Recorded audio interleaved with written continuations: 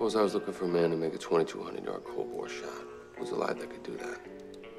Seems I heard about a shot like that being made not too long ago. Said the guy's name was Bob Lee Swagger.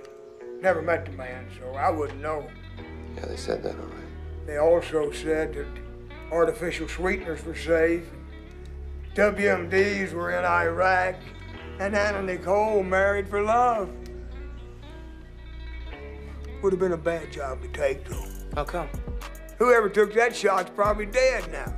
That's how conspiracy works. Them boys on the grass, grassy knoll, they were dead within three hours. Buried in the damn desert, unmarked graves out past Terlingua. You know this for a fact? Still got the shovel.